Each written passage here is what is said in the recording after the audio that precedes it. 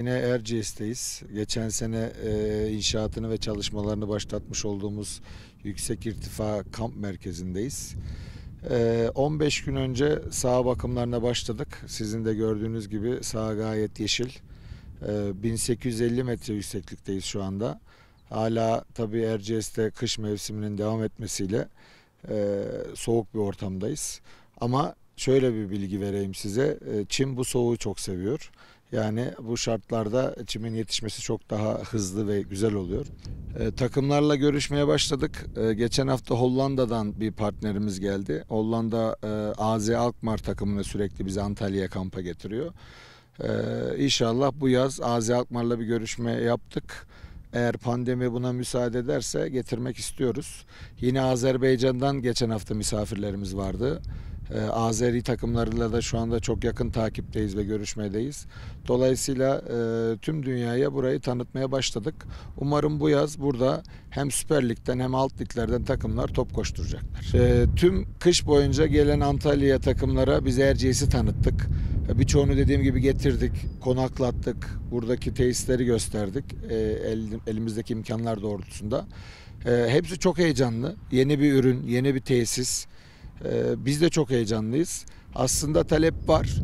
Burada tek önemli olan şey bu sahanın gerçekten Kayserimize yakışan bir tesis olması lazım. Kayserimize yakışan kalitede ve standartlarda olması lazım. Bunun için de tüm Kayserili hemşerilerimizi, e, bürokrasiyi, belediyeyi e, buraya e, ortak olmaya, bu projeye destek olmaya davet ediyoruz. Bu proje sadece bizim değil. Evet işletme şirket biziz ama bizim değil Kayseri'nin projesi. Kayseri'nin vizyon projesi burası. Erciyes'i daha iyi tanıtacak bir argüman elimizde şu anda yok. En iyi Erciyes'i tanıtım yolu burası. Dolayısıyla bütün Kayseri'nin buraya sahip çıkmasını istiyoruz. Burası tüm Kayserilere açık bir tesis. Tabii ki hedef olmadan biliyorsunuz e, sonuç olmaz. Dolayısıyla bizim de kendimize göre hedeflerimiz var. E, bu yıl 12 takım gibi bir e, sayı yakalamak istiyoruz. Bunların da 10 tanesi Süper Lig'den yani dünya çapından sadece Türkiye'den değil yurt dışından da takımlar. İki tanesi de alt liglerden. Hatta bayan milli takımlarıyla şu anda görüşmelerimiz var. Haziranda bir turnuva koymuştuk ama şu anda pandemiden ne olacak bilmiyoruz. Malum yasaklar, kapanmalar geldi. Eğer bu yasaklar, kapanmalar gerçekten 17 Mayıs'ta biterse umarım e, bayan milli takımlarında burada top koşturacaklar. E, şöyle tabii biz heyecanlıyız. 10 yıldır hep söylüyorum. 10 e, yıllık bir projemiz bu bizim. 10 yıllık hayalimiz. Malum ben e, kendim Kayserliyim. Ama e, 25 yıldır bu işi yapıyorum.